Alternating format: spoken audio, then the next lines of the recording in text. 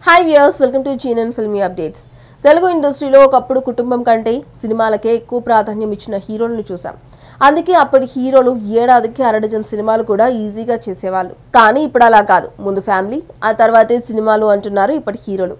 ఏ మాత్రం టైం దొరికినా కూడా వెంటనే కుటుంబంతో గడిపేస్తున్నారు. టూర్స్ ప్లాన్ చేస్తున్నారు. హాయిగా బయట దేశాలకు వెళ్ళి ఎంజాయ్ చేస్తున్నారు. అలాంటి హీరోలో అందరికంటే ముందు మహేష్ బాబు ఉంటాడు. ఆయన తర్వాత అల్లు అర్జున్ కూడా ఇదే చేస్తున్నాడు. ఎంత బిజీగా ఉన్నా కూడా సినిమాలతో పాటు కుటుంబానికి కూడా సరైన సమయం కేటాయిస్తుంటాడు అల్లు వారబ్బాయి. ఇప్పుడు కూడా ఇదే చేశాడు. తాజాగా తన కూతురు పుట్టినరోజు వేడుకల గురించి ప్రపంచమంతా మాట్లాడుకునేలా చేశాడు బన్నీ.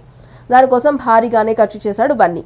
అల్లు అర్హా ఐదవ పుట్టినరోజు వేడుకలు దుబాయ్లో అత్యంత ఖరీదైన స్థలంలో ఘనంగా జరిగాయి. కుటుంబ సభ్యుల సమక్షంలో ప్రపంచ ప్రఖ్యాత బూజ్ ఖలీఫా భవంతిలోని అత్యంత ఎత్తైన ప్రదేశంలో అర్హా బర్త్డేను సెలబ్రేట్ చేశారు అల్లు అర్జున్ అండ్ ఫ్యామిలీ. దీనికి సంబంధించిన ఫోటోలు వీడియోలు ప్రస్తుతం సోషల్ మీడియాలో వైరల్ అవుతున్నాయి. బూజ్ ఖలీఫా యజమానులు ఎంఆర్ ప్రాపర్టీస్ ఈ మధ్యే ఐకాన్ స్టార్ అల్లు అర్జున్ అతని కుటుంబ సభ్యులకు ఘనమైన ఆతిథ్యం ఇచ్చారు. అల్లు అర్జున్ కూతురు అల్లు ఆర్హా పుట్టినరోజు వేడుకలు ప్రపంచంలోనే ఎత్తైన స్థాయిలో జరిగాయి.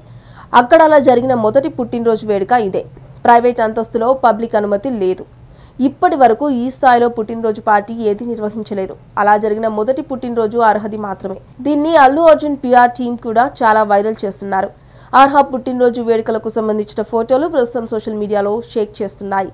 కూతురు కోసం బన్నీ చేసిన పని చూసి అభిమానులు కూడా ఫిదా అవుతున్నారు.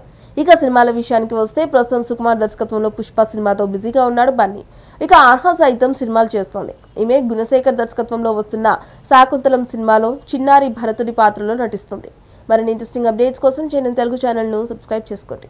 Hi this is Ankita please subscribe GNN YouTube channel thank you